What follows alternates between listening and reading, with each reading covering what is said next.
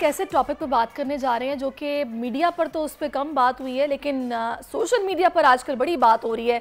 Juice की industry Pakistan में इन दिनों काफ़ी मुश्किल का शिकार है। रवा बरस हालिया टैक्सेस की वजह से हमने देखा कि जनाब जूसेस के इशूज़ हमें नज़र आए कि कहा गया कि इसमें फ़ूड कलर्स होते हैं, इनको अवॉइड किया जाए। और आजकल जनाब, हमने इसी से रिलेटेड एक वीडियो देखी है कि जो फल, तरबूज का आपको पता है सीज़न है उसमें भी वो फ़ूड कलर के इंजेक्शन डाले जा रहे हैं, उसको मीठा करने के लिए, उसके अंदर स्क्रीन पता नहीं डाली जा रही है। पता नहीं क्या उसमें इंजेक्ट कर रहे हैं कि तरबूज लाल भी हो और मीठा भी हो। तो जूसी से हट के अब ये नेचुरल फलों की तरफ़ मामला आ गया है। तो इसी पर बात मैं करूँगी कि कितना डेंजरस है, क्योंकि जो रिपोर्ट्स हैं उसके मुताबिक फ़ूड कलर्स जो है वो कैंसर कॉजिंग होते हैं और ये हेल्थ के लिए बिल्कुल अच्छे नहीं होते हैं।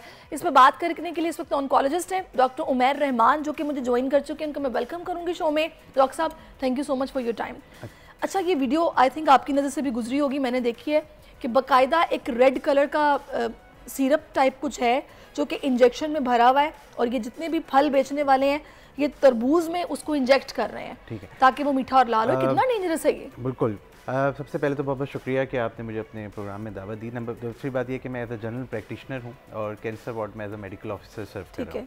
तो I am not an oncologist I am a general practitioner मैं आपको बताया चलूँ कि आजकल एक केमिकल जो बहुत नॉर्मली पहले हम देखते थे कि वो जेलीज़ में और टॉफ़ीज़ में कलर्स में यूज़ होता है इसको हम एरिथ्रोसिन कहते हैं। एरिथ्रोसिन एक डाई है। और अब ये डाई क्योंकि पहले एरिथ्रोसिन तो टैबलेट भी आई थिंक सो नहीं erythrosine is a dye chemical colour है जो एक लाइट पिंक कलर का होता है और उसको फ़ूड कलर इंडस्ट्री में बहुत ज़्यादा यूज़ किया जाता है।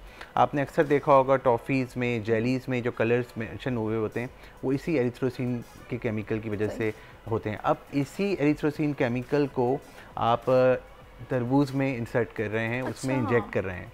अब होता क्या है कि ये जब केमिकल आप इसमें डालते हैं इसके साथ आप शुगर कुछ कंटेंट डालते हैं तो तरबूज का कलर जो है वो बहुत ज़्यादा डार्क रेड हो जाता है और आपकी क्योंकि आप उसमें शुगर कंटेंट भी इंजेक्ट करते हैं तो उससे बहुत मीठा हो जाता है।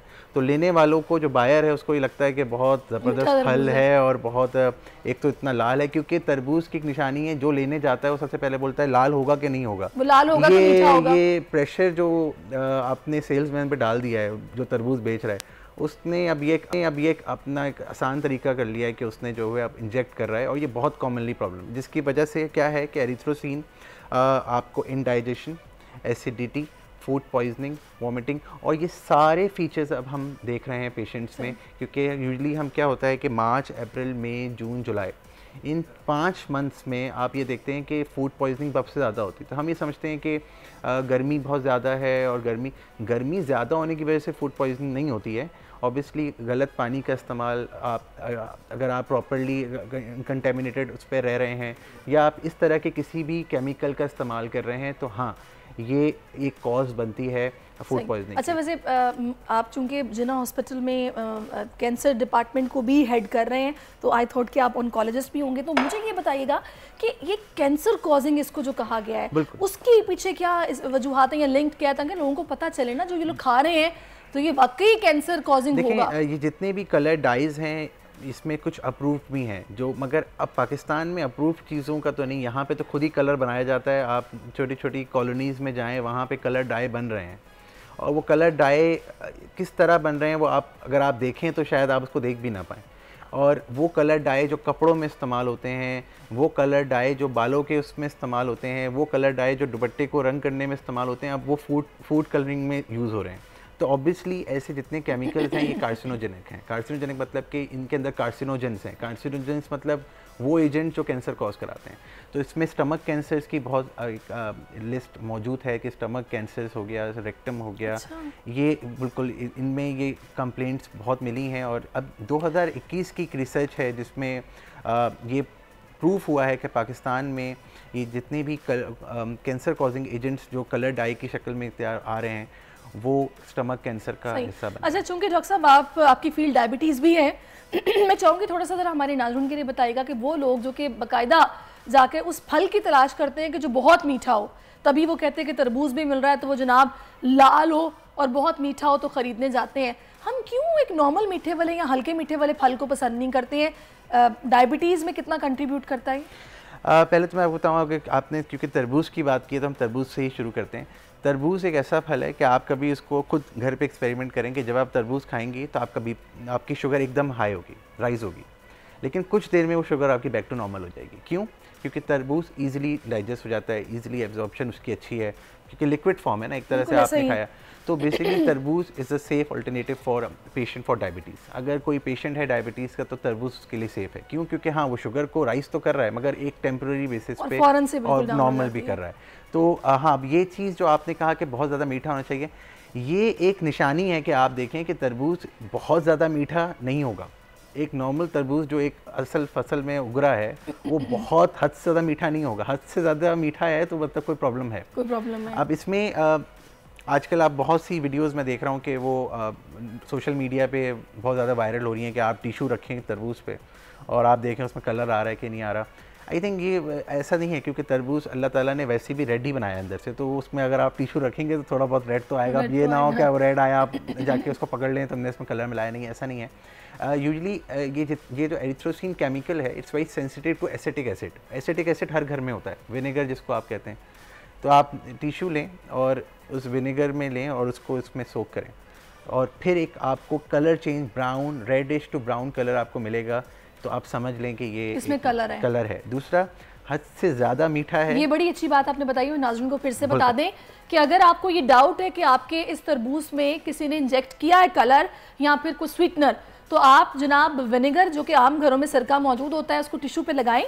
और उसको तरबूज पर लगाएँ। और जैसे ही उसका कलर ब्राउन हो जाएगा या चेंज होगा दैट मीन्स कि अगर वो रेड नहीं रहता दैट मीन्स कि उसमें कुछ ना कुछ मिलावट है तभी उसका कलर चेंज हुआ वरना नेचुरली तरबूज लाल ही होता है टिश्यू पे भी लगेगा तो लाल ही रंग होगा उसका कलर चेंज नहीं होगा। अच्छा ऐसे में हम देखते हैं कि आ, ये जो होता है आ, पपीता जी। पपाया वो भी हम कोशिश करते हैं कि हमें बहुत मीठा मिले।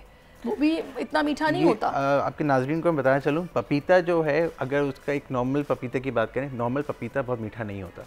एक नेचुरल अल्लाह ताला की तरफ़ से ही वो फल ऐसा है कि वो हद से ज़्यादा मीठा नहीं है। वो एक नॉर्मल उसकी मिठास है।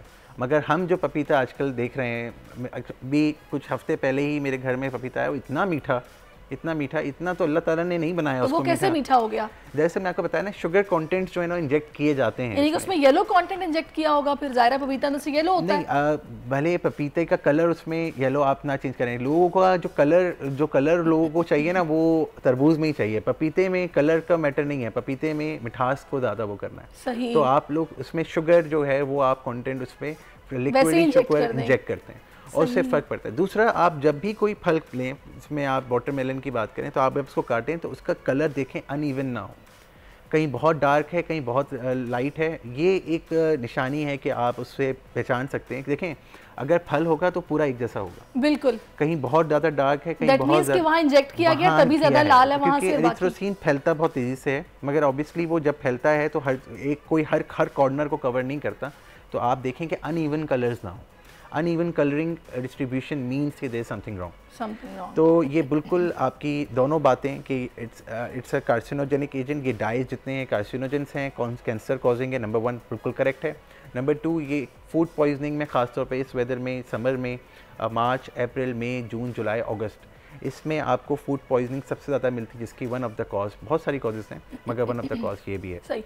अच्छा अब मुझे एक चीज़ और बताएगा डॉक्टर साहब क्योंकि आप चूँकि मौजूद हैं हम मिठास की बात कर रहे हैं मीठे फलों की बात कर रहे हैं तो ये सीज़न फलों के बादशाह आम का है और आम भी बहुत मीठा होता है आपकी फील डायबिटीज़ है। अब मैंने बहुत सारे शुगर के मरीज़ देखे हैं जो कि आमों को देख के दीवाने हो जाते हैं और चार चार साथ खा जाते हैं। शुगर के पेशेंट्स के लिए कितनी मकदार होनी चाहिए? बिल्कुल आम का देखें जो एक तो पहले आप ये देखें कि आम में एंटीवायरल अल्लाह ताला ने कुदरती डाला है। आप एंटीवायरल एंटीबैक्टीरियल एजेंट्स भी उसमें मौजूद हैं। तो आम एक शिफा का फल है एक आम फलों का बादशाह तो है मगर एक शिफा का भी फल है। और अगर आप पिछली स्टडीज़ देखें तो उस स्टडीज़ में आपको ये मिलेगा कि आम डायबिटीज़ में अपना रोल प्ले करता है। ठीक है? जैसे मैंने आपको बताया कि तरबूज आप खाएँगे तो आपको एकदम राइस मिलेगा मगर फिर थोड़ी देर बाद आप शुगर चेक करेंगे नॉर्मल होगा। आम में ऐसा नहीं होगा।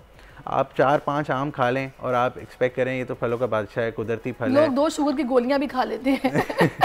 और वो बिल्कुल बड़े ही रहे और वो कुछ नहीं होगा नहीं ऐसा नहीं है। आई थिंक अगर आप आम के सीज़न में मैक्सिमम दो आम आप ले लें एक सुबह ले लें एक शाम में ले लें दो आम से ज़्यादा नहीं और एक साथ ना लें। वक्फे वक्फे से लें ताकि उस वो आम जो है वो आपकी बॉडी में जाए वो एब्जॉर्ब हो फिर वो क्योंकि ऑब्वियसली आप बहुत सारा मीठा एक साथ लेंगे उसमें फ़र्क है। और उसको पोर्शंस में लेंगे उसमें फ़र्क फ़र्क है। अच्छा मुझे ये बताइए वो लोग जो कि ये करते हैं हरकत जो मैंने बताया कि ढेर सारा मीठा खाने के बाद एंटी डायबिटीज़ की टेबलेट्स ले लेते हैं वो कितना गलत है और कितना डेंजरस है? एंटी डायबिटीज़ की टैबलेट्स वो शुगर के मरीज़ हैं कि नहीं है पहले? है मतलब फिर तो नहीं देखें वो तो फिर उनकी डोजेज है ना अब वो अपनी डोज के हिसाब ही ले रहे हैं आप समझे नहीं मेरी बात। आई मीन टू से कि कुछ लोग ये कर देंगे अगर उनको डॉक्टर ने ये रिकमेंड किया हुआ प्रिस्क्राइब किया हुआ है कि आपने सुबह गोली खानी एक शाम में खानी है।